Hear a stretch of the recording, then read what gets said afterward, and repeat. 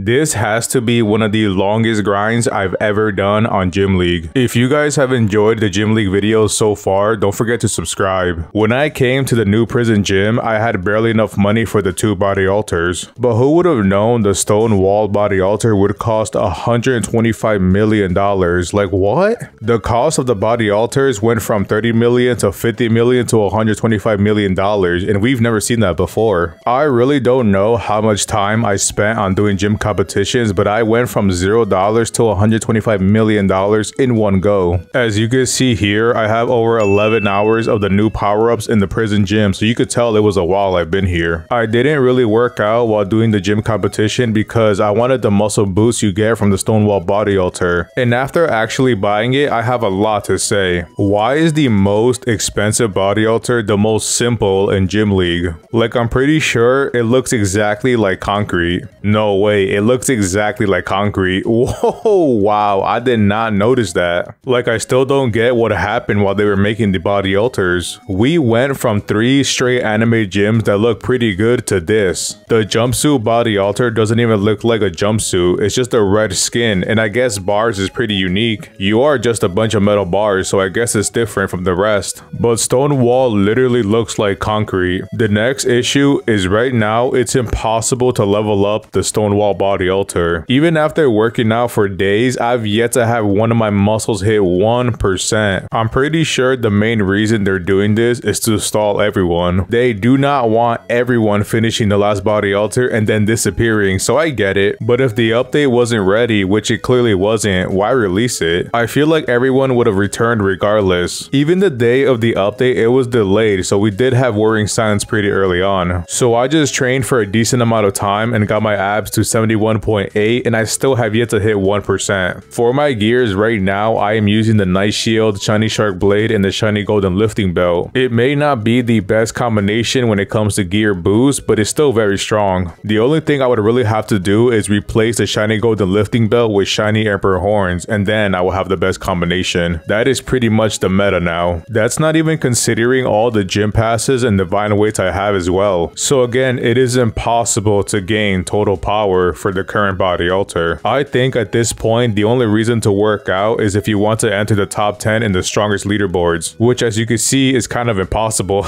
like even the people at the top of the leaderboards are so far ahead of everybody that even they haven't even come close to completing it. I would actually love to see what percentages they have on their muscles. So I think sometime this week they should fix the last body altar so it's trainable. In the meantime, I'm gonna do gym competitions until I have maybe $1 billion and hopefully by then the prison gym is fixed. I mean, even the person you get quest from wasn't even working either. Besides the body altar issue we are currently having, I'm also curious about the gym we also got. In the description of the update, it clearly states a beautiful courtyard with absolutely no danger at all. Like I know courtyards could be inside, but if we're talking about a prison courtyard, wouldn't that mean the courtyard is supposed to be outside? If you were to Google prison courtyards, you would probably see prisoners outside lifting weights to get their exercise, not typically inside. I mean, all they had to do was remove the roof and walls of this prison and it would be an actual prison courtyard. Like here's another good example, the beach gym. In the very first gym of Gym League, it is an outdoor gym which is awesome. You have an entire beach with people working now and you also have a city connected to the beach to give it a more visual look. Like why didn't they just do this for the prison gym except instead of a city they put a basic prison right next to it. They could also decorate the prison. So like if you're bored of working out, you could just go in and walk around. You never know. Some people do get bored and they get curious. Well, that was a pretty lengthy rant. It's just something I was thinking about this entire time. I thought the idea of a prison gym was a good idea, but so far it's proving me wrong. Actually, wait, I have one more complaint. Why is it harder now to win divine weights from the fortune spin? The divine weights went from 1% to 0.5%, which made it so much harder to get.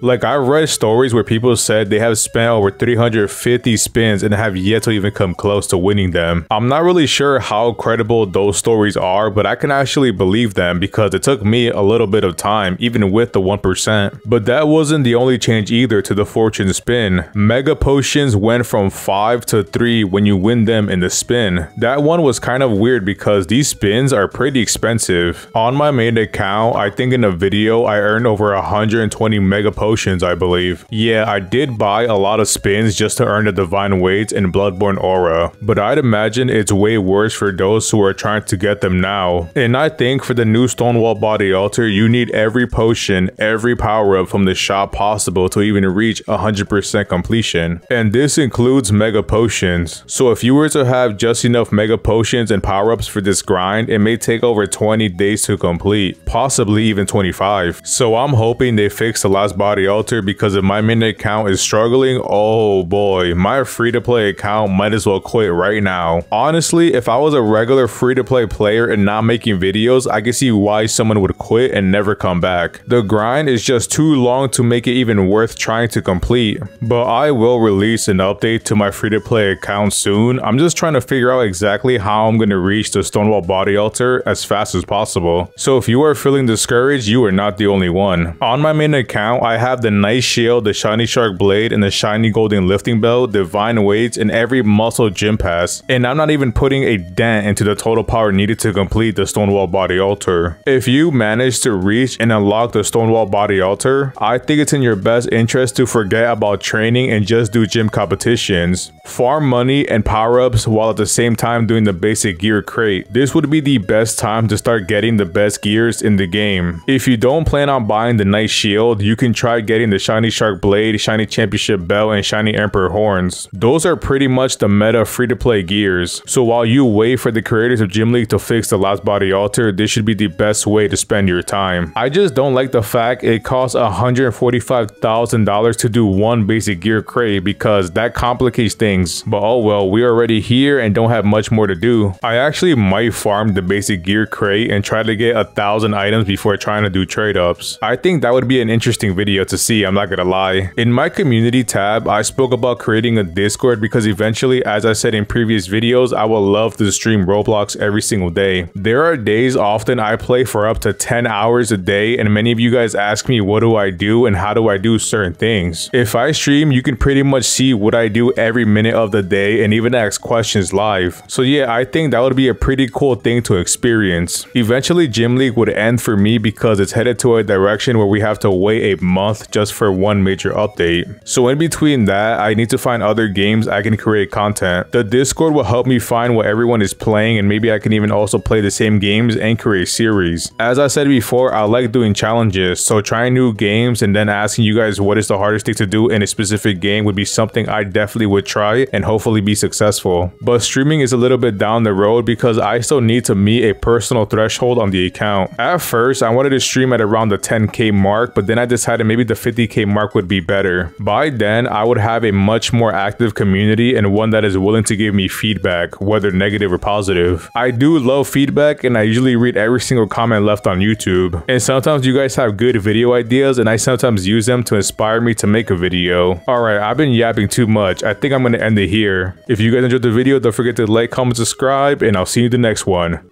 Peace.